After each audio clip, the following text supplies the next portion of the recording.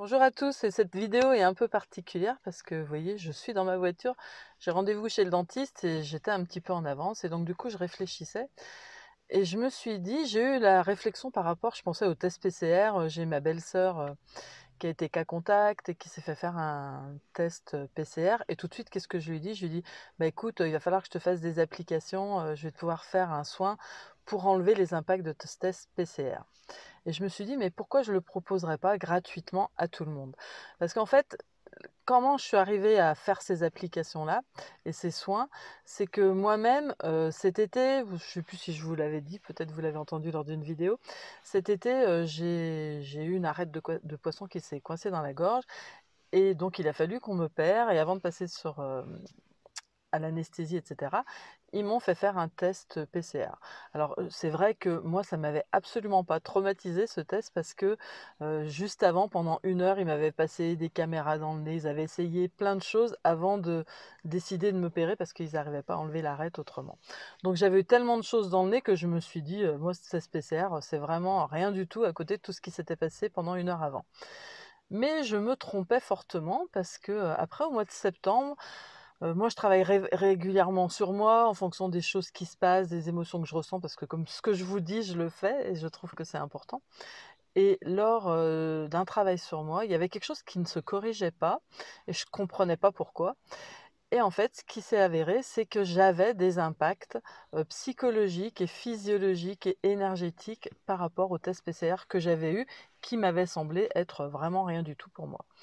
Donc du coup, suite à ça, bah, à chaque fois que quelqu'un dans mon entourage ou ma famille a eu un test, je leur ai dit, bah, écoute, c'est quand même mieux que je te fasse le soin pour que tu puisses éliminer ces informations, soit émotionnelles, soit parce que moi je l'ai bien vécu, mais il y a des personnes qui peuvent le vivre, c'est difficile.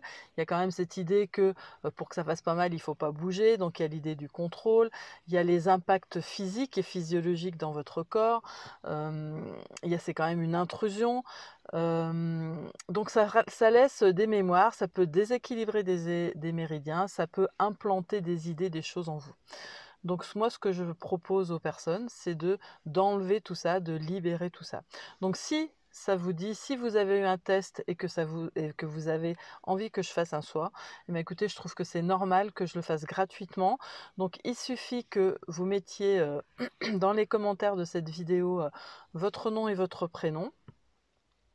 S'il y a des personnes que vous connaissez à qui vous voulez que je fasse le soin, il faudra également mettre leur nom, leur prénom. La seule chose, c'est qu'on va partir du principe, moi quand je vais mettre en place la correction, c'est qu'on partira du principe que le, soin aura lieu à partir du moment où la personne a marqué le nom, le prénom, qui sera marqué dans le, dans fil de la discussion. À ce moment-là, le soin aura lieu dans les 24 heures.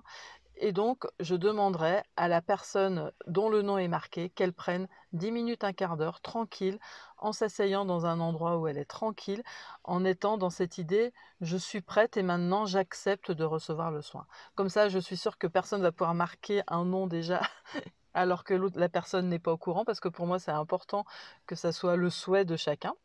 Donc du coup, on fait comme ça. Si ça vous intéresse, je le fais avec grand plaisir vous marquez votre nom ou les noms des personnes et c'est à partir du moment où ce nom est noté, dans les 24 heures, la personne doit trouver 10 minutes, un quart d'heure où elle se pose et dit ok je suis prête à recevoir ce soin et soit la personne fait des respirations, soit se met en méditation, soit c'est quelqu'un qui n'a pas l'habitude de faire ça, bah, elle peut lire un livre, enfin rester tranquille, écouter une musique, c'est juste être dans ce moment de calme et de recevoir euh, cette correction là.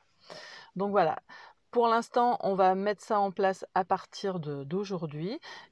Et donc, on va dire que ça va être valable jusqu'à fin décembre.